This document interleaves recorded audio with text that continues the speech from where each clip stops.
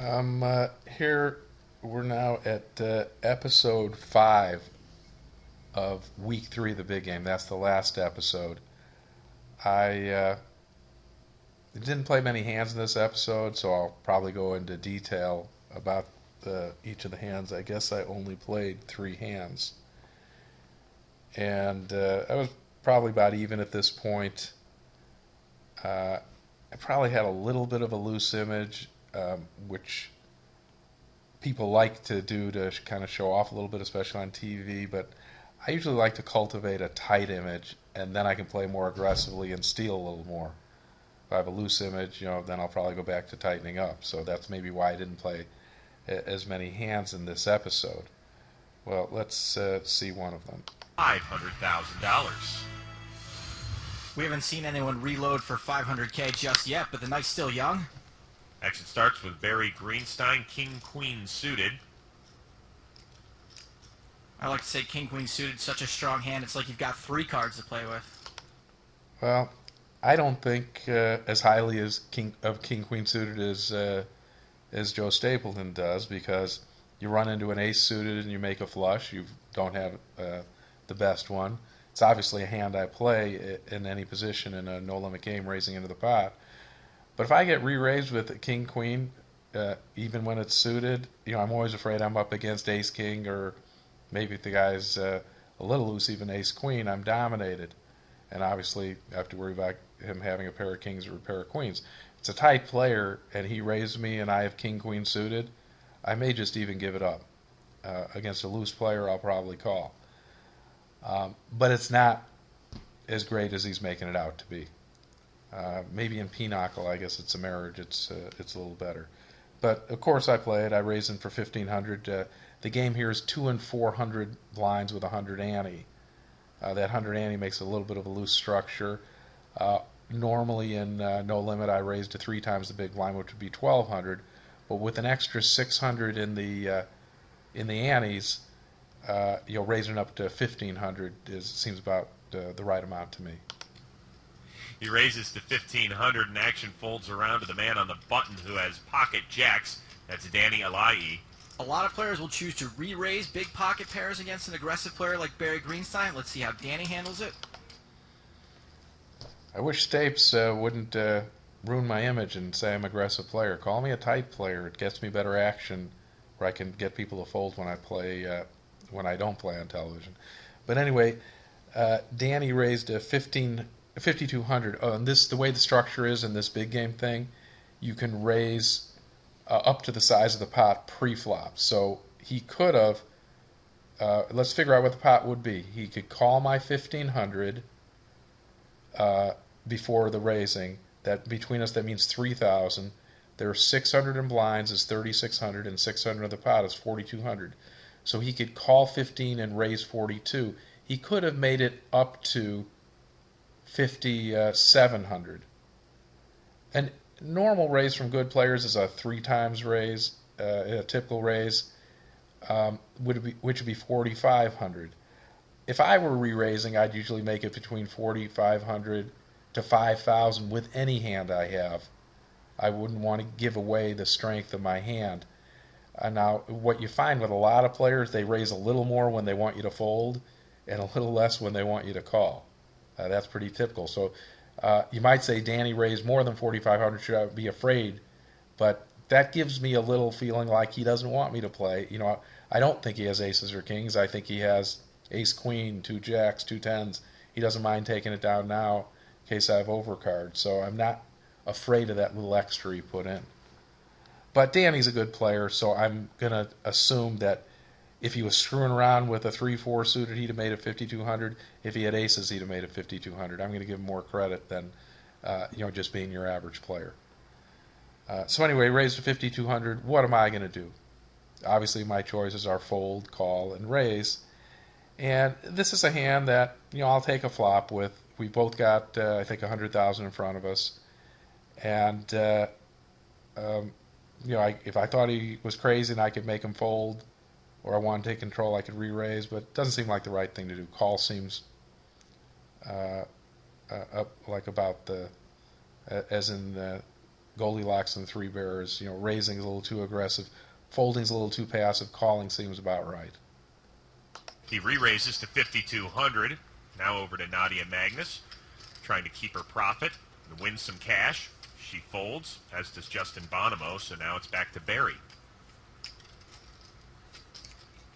See Barry checking out Danny's stack size. which took a crushing blow last night. Barry calls. Two to the flop. Now this is something they mentioned, and, I, and whenever I'm playing a pot, obviously it combines my hand and math. We call it like a vector with components. There's my hand, in this case King Queen of Clubs. There's my opponent, Danny Alaei. But there's also the state of uh, me and the state of my opponent. I'm usually pretty stable, and I'm about even here, so nobody should think I'm steaming. Danny, uh, they just point out, lost a big pot previous. They said the end of the night, but actually these things are all recorded in one session and then chopped up into sessions. So if Danny's stuck and he lost a pot, you know, I may factor in that he might be a little more aggressive in steaming. So that's part of that whole component of the way, that, uh, or that's an, one of the components of what I'm thinking about as I play this hand. He might be playing a little more aggressively than normal. Uh, right now we see the pot's 11,600, and so I'm expecting on almost any flop, uh, he's on the button, I'm in front of him, I'm going to check to him, and he's going to bet around half the pot, and that would be around 6,000. Maybe, you know, sometimes up to like three quarters of the pot, uh, which is 12,000, 8,000. So I'm expecting a bet between 6 and 8,000. And if I don't get something in that range, then I'm going to have to think about why did he bet less? Why did he bet more? At this point, we're at no limits, no longer pot limit, no limit. Five, Queen, King, top two pair for Greenstein. Barry's only behind to fives, kings, or queens. Barry checks, he slow plays it. That's right, he's checking to the Well, you know, this is obviously a great flop for myself, and with a 100,000 in front of me, um, which uh, I often think of my stack size in terms of big blinds. Uh, two and 400 blind, uh, 100,000. Well, that's a lot of big blinds. That's 250 big blinds. But a top two pair, if I if I'm beat by him having a set, I'm probably gonna go broke on this hand. Uh, I'm not going to get away. We, especially we've already got the pot built up to 11,000. I've got 10 times that.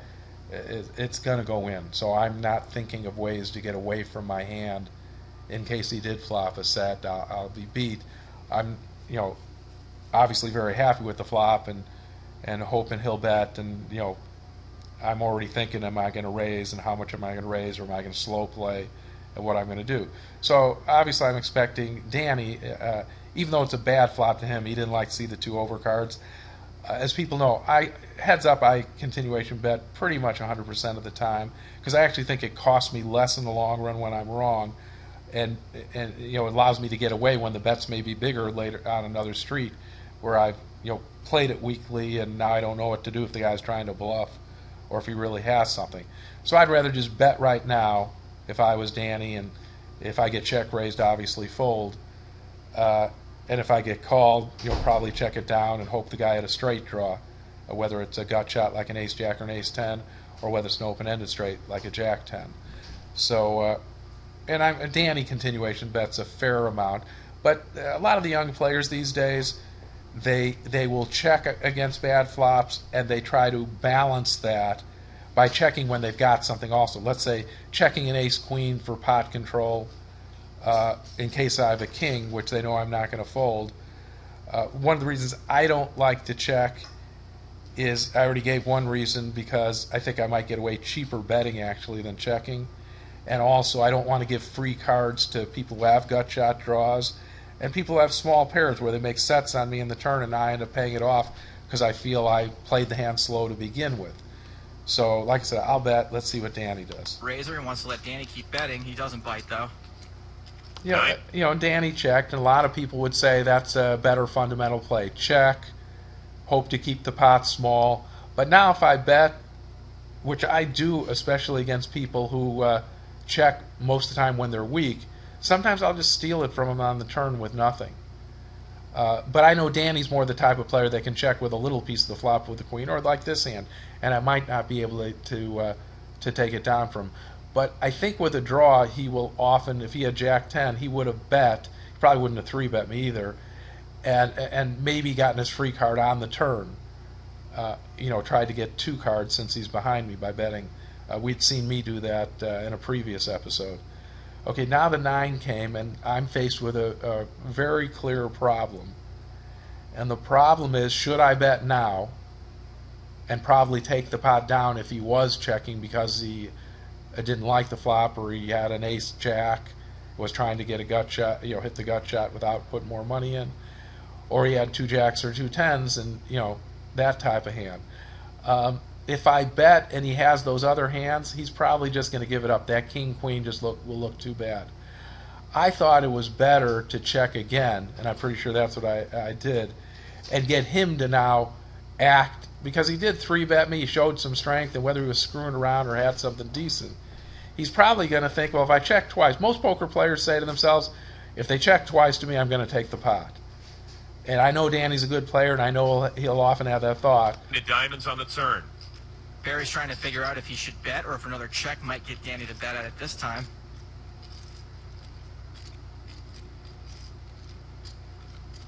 Barry checks again. Danny probably didn't like the two overcards on the flop. Let's see if the fact that it was checked to him twice changes anything.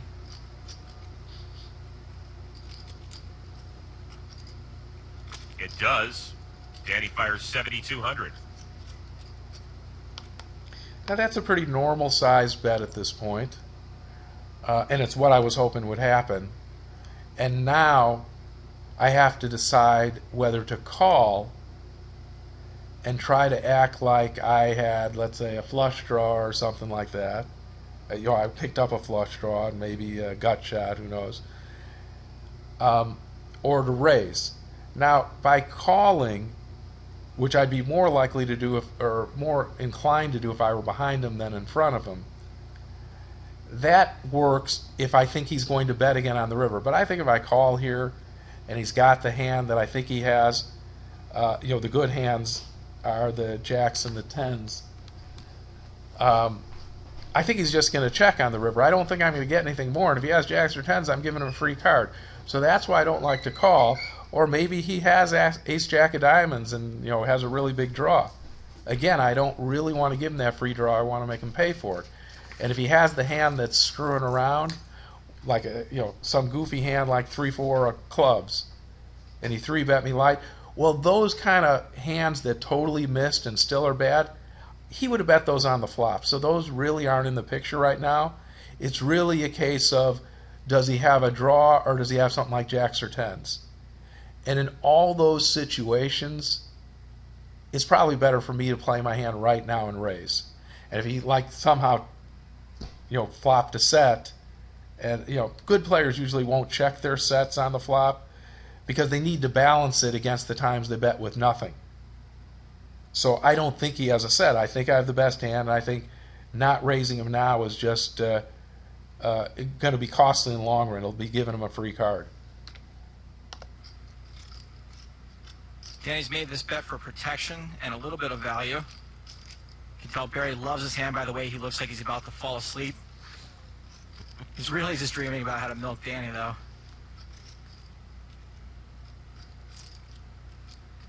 Barry could be giving off one of his classic coma tells. Well, what was I doing? I had pretty quickly decided I was going to raise, I'm pretty sure, but now I have to pick an amount. So before you find out what I raised, what would you raise? Well, uh, the way you think about pot size is first you add in your call. That's what the guy will be looking at. He'll be looking at the size of the pot he has to call against. So when I put in the extra 7,200, they already included Danny's 7,200 when they came up with that 18.8 figure. That gets the pot up to 26,000. So a pot size raise is me raising him 26,000. That's a lot normally, again, you bet like half the pot uh, on top of the, the, the raises is a more normal bet that could either be stealing, you know, or it could be a good hand. And again, you know, I'm usually going to pick a bet that doesn't give away which you know like if I had a real big hand, I'm not going to bet a lot to uh, because I, I like my hand so much, or I'm not going to bet a little to suck them in. I'm going to bet the same amount pretty much no matter what the strength of my hand is once I decide to raise. Half the pot is an extra thirteen thousand. So I'm usually going to bet between half and three quarters. So probably the minimum I'd ever raise is making it, taking his 7,200, adding an extra 13,000, betting, raising 20,000. More typically, so it's going to be maybe closer up to about uh, making it a $25,000 bet, a raise of uh, a little more than half the pot. So I expect I'm going to you know, bet somewhere between 20 and 25,000, closer to 25,000. Well, Barry wakes up and raises to 23 grand. Okay, 23. Barry's decided that now's the time to try to extract some value. He would definitely like to see Danny call. Danny does have the gut shot draw. He put And I'm not really figuring those things out all the time on the fly.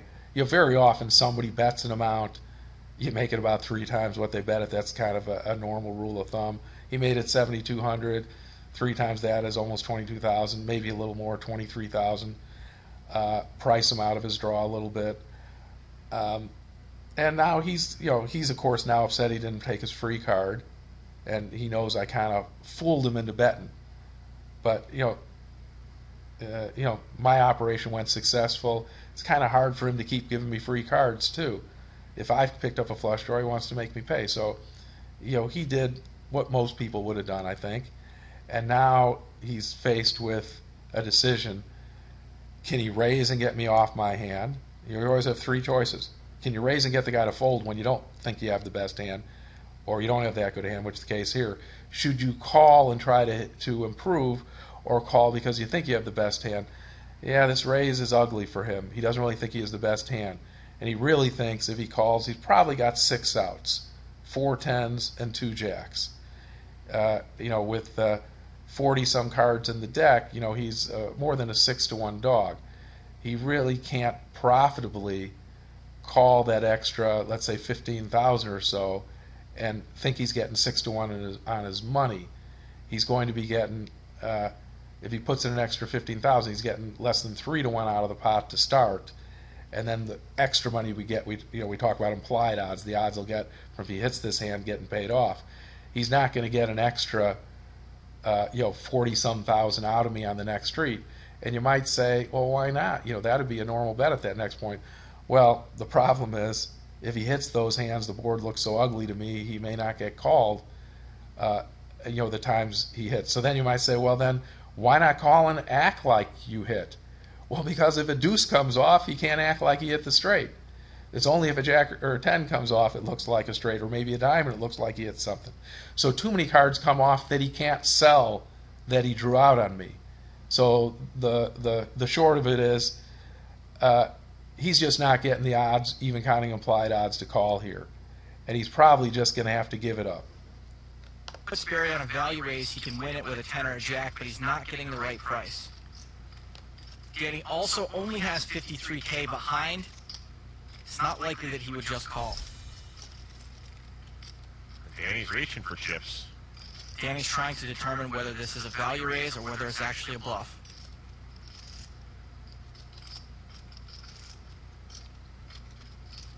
And he goes with the former and folds. Good lay on by Danny. Pretty pretty normal decision by each of us, but the key good thing I did in this hand is check the second time to a good aggressive player who's probably going to try to pick up the pot at that point. Good on. Two aces? Obviously, Jack 10. What else? Uh-oh, Barry just told a lie. Yeah, I wasn't really lying about my hand. I just, as a matter of while the session's going on, I don't talk about my hands that aren't shown. Someone wants to see my hand, they're just going to have to pay for it. You know, that's the way you, you make them feel. You don't want to give them information for free. So if people ask me about my hand uh, during the play, uh, and when I say during the play, it's because on these televised things, after the session's over, I'm sure I would have told Danny what I had. Anyway, you know, like if there's a pair on the board, I'll tell people, boy, nice lay down. I had quads, uh, or I'll hit top full, or pre-flop if they raise, I had aces. And again, I'll do it laughing and joking, and so I was just joking around with him here. But Danny said he wanted to see it because he's a little frustrated at this point that he didn't check again. I only saw like 5% of it. Action continues. Jason Mercier folds. Cassidy folds. it. Not seeing the other one. Over to Danny Alaei. I can't say his name now without cracking up. Don't worry, you'll get over it. Nadia on the button. Nadia folded queen five of hearts on the button. That's a hand most people raise on the button, especially especially a loose structure. Uh, like I said earlier, she's tightened up her game a little. She's she's ahead, and you know it's not that she's a bad player. She tightened up her game. It's a loose cannon trying to come away with money that she can't make any other way. Uh, normal for she should tighten up because as we saw in earlier sessions, she raised with that stuff. Justin or myself are likely to three better with almost anything. She just can't afford to come in with garbage right now. Uh, the way uh, you know this this whole big game uh, setup is, because you know we will come after her uh, relentlessly if she raises uh, in uh, too frequently. And folds. Justin Bonomo limps in.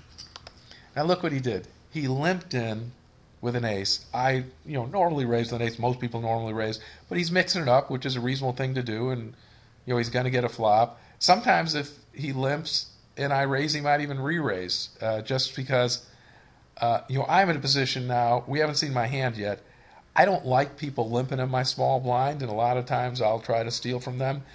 Except against weak players, if I if they're limping and let me get away where I would have folded if they'd have raised, I'll encourage them to limp. But also, a lot of times good players will try to take advantage of you by getting a lot of free flops with you, and I don't want to let them do that. So it's a cat and mouse game of uh, whether it's okay for me to let them to limp because they're letting me see cheap flops with my bad hands, or whether I don't want to let them play their bad hands uh, to free flops in the small blind. So you see what the two issues are there. So let's see what I have and let's see how I handle it. Jack 4 off suit for Barry. Okay, now I have total garbage. And so I probably should be happy to take a free flop. But Justin's ahead, and I'm saying, I don't want this kid to think he can just limp in my blinds. It's almost like a, you know, kind of, uh, you know, saying, you know, I don't think you're going to try to push me around. I think I can do what I want with you. I can get free flops when I want, and I can raise you out when I want. I, I don't want anyone thinking they can they can do that to me. Looks like he might be getting a little frisky with his big blind. Oh, I got the four, so I the rest of So I had to choose an amount to raise to. Uh, the pot at this point before my raise, you remember it had my 400, Justin's 400, 800, an extra 1600 is 1400. Uh, so I raised actually the size of the pot. Maybe this gave away something because uh, uh, I made it 1800. That was the most I could raise to. Um, so he might feel that I'm just trying to take it away right now, which was the truth. But even with a good hand, I think I'd raise to about that because, again, it's one of these double think situations. Pot's not that big at this point. I'd be trying to build a pot. Um, you know, it's not the same as a re-raise situation where I might not raise the full amount I could. This is just a you know beginning raise situation, uh, building a pot. Um, anyway, now some people are going to say, "What are you doing? You have Jack four offsuit. Why are you putting in so much money with that?" But remember, my philosophy is I don't mind raising with bad hands if I think I can take the pot down. I'd almost rather raise with garbage than something in between where I want to see a flop, like an ace suited even. Um, because garbage I can get away from very easily. He re raises, obviously I'm going to fold. It's not like I really feel I lost that much that I had a good draw to. So I'll raise with garbage anytime I think I can take it down. And that's what I thought here. Thought I could probably take it down right now. And if I had Justin's hand at ace six, I'd probably fold, but he knows this was a hand he normally even raises with. So he's thinking his operation of limping probably wasn't successful. And he's got some choices. He does have an ace. He could re-raise. He has an ace that's got some value he could call, or he could just say, "I wish I would have raised, so I'm not in this kind of guessing game uh, of whether Barry's got a hand or not. I wish I would have raised initially, and now I'm just going to get out of this because I'm on the guess." Notice I have put him to a really guessing situation. A6 offsuit's a garbagey hand. Yeah, 18 total, right? I thought I was under raising. Barry's trying to take control of this pot. Call. Justin calls. And now, what's your thought about the hand right now? How do I sit with this piece of garbage against Justin's ace? I'm a favorite. Well, not on the board. You see, I'm a 60 40 dog, but I, as the aggressor, have the betting lead. I'm also behind him. He's not in good shape on this hand, even though if you look at the percentages and just look at hands, you might think he is. He's in trouble. And I usually don't do what he just did there. I would have raised with his hand, and I don't I wouldn't call it a re-raise with hands. I don't like calling with bad hands. Justin does it a little more than I do. He's got a lot of confidence in his after the flop play, and he feels there's enough value in his hand that he doesn't want to give it up. And he'll float me and he'll do all sorts of things. And he knows I'm gonna. He knows the way I play. I raised him. I'm gonna bet. I could have garbage. Uh, he's not as sold on the tight image I've been trying to sell on some of the other uh, broadcasts, but he's played with me enough to know I'm capable of anything. A blind versus blind. Nine, Jack, eight, two diamonds. Top pair for Barry. Bonomo checks. Now, obviously, the good news and the bad news. The good news is I flop top pair. I probably have the best hand right now. The bad news is it's a very connected board. If he limped with the, let's say, a 10 7, obviously he's got the joint. A queen 10 he'd probably raise pre flop. I don't, you know, most people wouldn't limp with that hand. Um, maybe had some small connector, a 7 6. Well, obviously he's got a straight draw. It's a very connected board. Obviously, I'd rather seen Jack 8 deuce, or specifically Jack 4 deuce, making top two pair. That's a little too much to ask for. Yeah, I can't complain. Now, at this point, uh, the pot, as we saw with the, uh, well, let's subtract 2,500. It was 4,200. Again, to bet about half the pot, uh, which would have been 2,100. Um, my last bet was 18, maybe up to, you know, here 2,500. Always usually between half and three quarters of the pot. Three quarters of the pot uh, uh, would have been almost, uh, I guess, 3,300. Now, I'm not doing all these calculations, even though they're pretty simple for me to do, the, the arithmetic.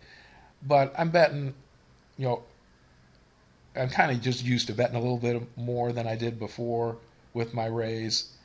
Uh, as I've said before, in normal situation where it's a raise and a call, if it's head up, I'm usually betting about one and a half times what the previous bet was. So uh, maybe I'm doing that calculation, which is a little more simpler than adding everything up in the pot. Um, so 2,500 is a pretty reasonable size bet. Obviously, at this point, Justin's totally whiffed the flop, and uh, you know I have hit the top pair. We expect this to be the end. Barry fires 2,500. Bonomo knows, Barry will continuation bet with just about any two cards. In this case, Barry does have top pair. Justin comes over. Well, look at this, and, and that's what a lot of people say is a fallacy in my continuation betting all the time in heads up and, and usually three handed pots. They mistake it that they think they do all the time. No, I don't in four handed pots. Uh, but when it's heads up, yeah, I will. And so a lot of people say, well, it makes it easier to check raise me and take pots away. But when you do that, you're putting a lot of money in, and you're going to guess wrong enough of the time when you put that money in that it's not as easy to exploit as people think. Uh, although I still remember this hand, and when he raised me, I did. I was worried because I have top pair. But if he's legitimately raising, I've got the worst hand. But again, you know, poker with, against good players, that's not like bad players who aren't going to make these plays. Playing against a guy like Justin, he's going to put me to the test. And so I just thought that my hand had too much value to fold here. He could have played me off this hand if he kept firing, but he's got to worry that I've got a straight or queen 10 or jack set, sorry 10 7 you know calling here behind him puts a lot of pressure on him to keep firing too So I thought it was better to call. It's certainly re-raising. It could just get me in a lot of trouble. But calling keeps some control there, and I'm behind him, and now he's going to have to take another stab. You know, he took this stab, raised me. Is he going to continue on? We can see by my hand that even with top pair, if we really just kept firing big bullets, I'd probably have had to given it up. But let's see what what uh, what goes on. For the top to 8,000. Bonomo's chosen a dicey moment to try to make a play with this check raise.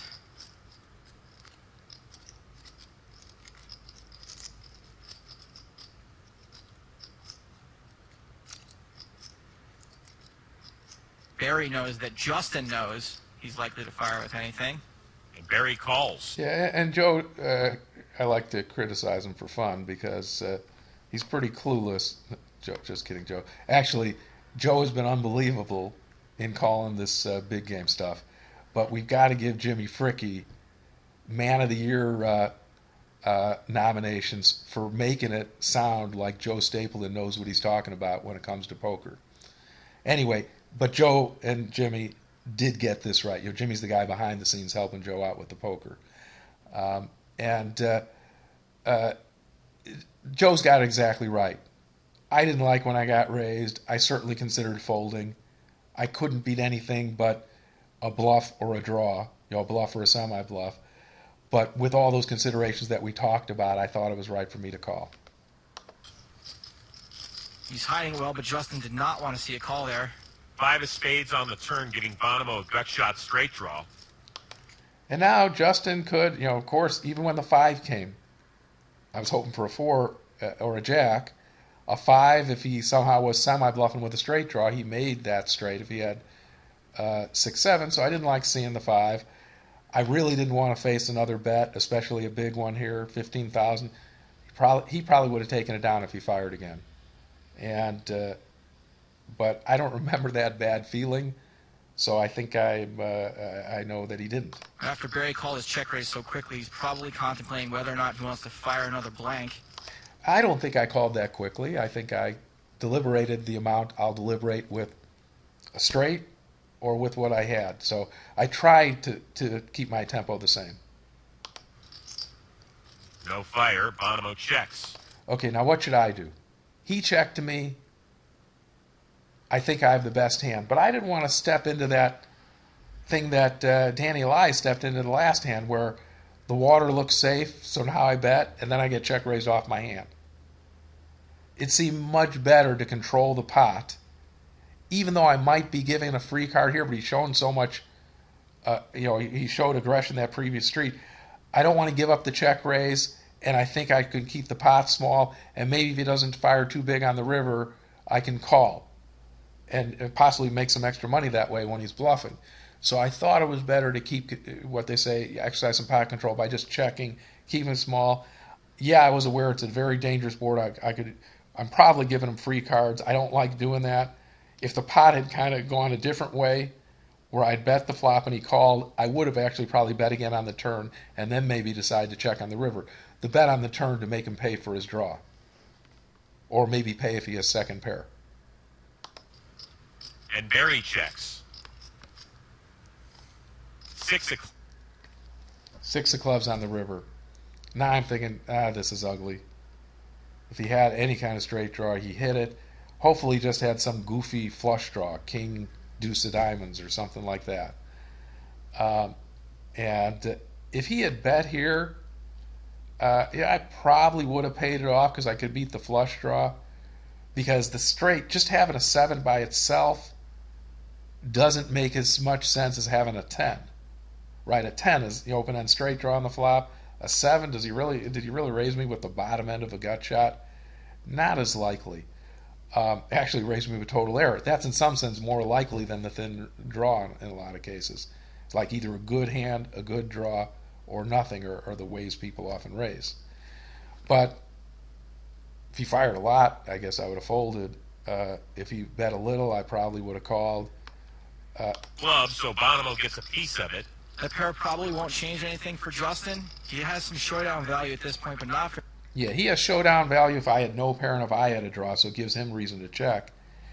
And at this point, I'm saying to myself, if he couldn't bet, the last two streets, I probably have the best hand. And so now the question is, should I bet?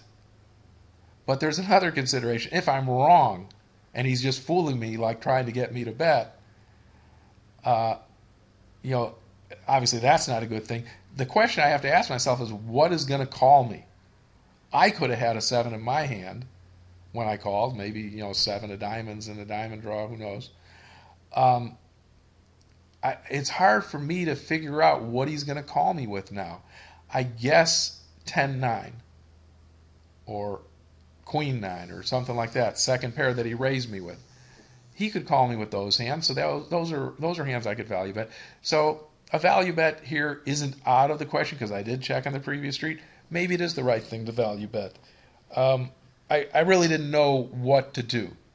I was so glad, frankly, he didn't fire that bullet on the turn that I was happy, even though I thought I had the best hand, I was happy to take down the pot at this point. But, you know, maybe I should have value bet. Let's see. I'm pretty sure that I didn't, and let's, uh, you know, let's see what happens. Very much.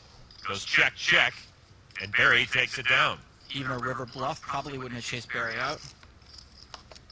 I didn't mind. I mean, sometimes you're embarrassed to show garbage like this, uh, but I didn't mind kind of saying, "Don't limp on my territory. You're going to get raised." Uh, you know, and you know, hopefully next time he tries that, uh, you know, I'll, I might raise him again. Uh, eventually, if I keep raising him, he's going to limp with good hands. Usually, the next time the guy does it, especially when I show him that bad hand, it's actually not a good hand the second time because he's thinking he'll never think I'm limping with garbage again. He, and he got away with the first time. He's not going to re-raise me. Second time, the guy limps with garbage again. The third time, the guy's waiting to set you up with a big hand to get you to raise. Uh, but anyway, those are the kinds of things that go through your head of when you're playing all these different limping, checking, raising with nothing type of games. So well, let's let's let this hand run out with commentary. Monster hands. Yeah. Greenstein wins a pot of more than 20 grand. Okay, so you know people got to saw see that we were each dancing there, and it's not like the rest of the table didn't notice it. They're good players. This is actually the last of the three Grand. hands I played. If Nadia doesn't look too happy, it's because she's come off a little less than 30,000 from her peak. Danny Alaei looking at 10-4. That's out of here. Nadia, pocket pair. Oops. Looks like uh, yeah. Raises to 1400. Bonomo calls. Sorry Queen 10 that. suited. King Jack for Barry Greenstein. Barry's not going anywhere with. Um, Nadia raised with fives. Justin called Queen ten of diamonds, normal call. I have King Jack offsuit. Joe was about to say I'm not going anywhere with face cards. That's not true. I think this hand is garbage. I don't like calling, even in position with King Jack offsuit. It's a hand that's very easily dominated. Uh, a lot of people will say, well, there's good value in it. You're in position, and that's okay if that's the way they feel. When I have these marginal hands, if there wasn't an ante, I'd probably just fold it uh, or raise. You'll see me raising, and I've said this many times. I'll raise with my marginal or with my bad hands that I decide to play more often than I'll call with them. I'll try to take control because, as we've seen, there's extra value in taking control. You can win pots lots of ways if you're the pre-flop raiser. Uh, calling, you have to hit, and you have to hope they don't hit something better. And this is the kind of hand that, even when you hit, sometimes they hit something better. Maybe I'd hit a king and a jack. Comes with an ace or nine, Justin's going to make a straight, as we can see. So, you know, pot limit before the flop, I'm going to raise a little less than the pot probably. But, uh, you know, I know I played this hand, so I know what I did is I, I raised. And so, uh, why don't you try to figure out before I do what I'm going to raise to?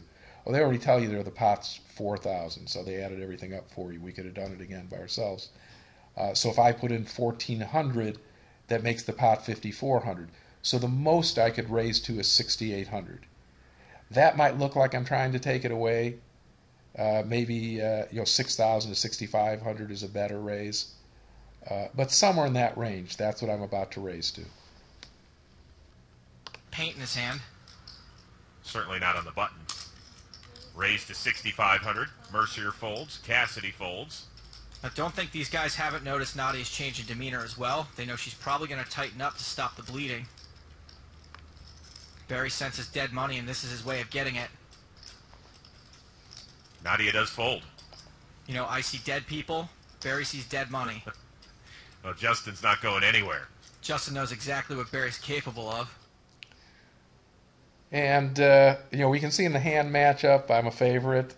Um, you know, but Justin's got a nice hand to play and be able to semi bluff with if he hits uh, straight or flush draws. Uh, you know, I hit my jack, comes jack nine. You know, Justin's going to be in there playing with me, especially with two diamonds. Uh, you know, we we could see some uh, fireworks because you know our hands are like interlocked. You know, one of us hits, the other one's probably going to pick up a draw. But more important than that 58-42, it wouldn't really matter if I had Justin's hand and he had my hand. A lot. I mean, it, it's probably better to have the, the higher percentage hand.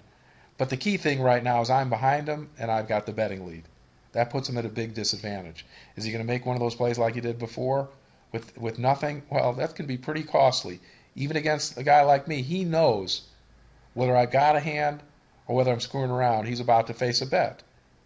And you know, it's it, and if he's going to take me off of that bet, he's going to have to spend a lot of money, and he's going to be wrong a fair amount of the time because I I don't. I mean, we've seen me three bet a lot of garbage uh, on this show, but you know, I do once in a while pick up aces and kings and things like that too. So uh, uh, you know, it's not like I'm a total crazy three better. Uh, you you got to give me some respect.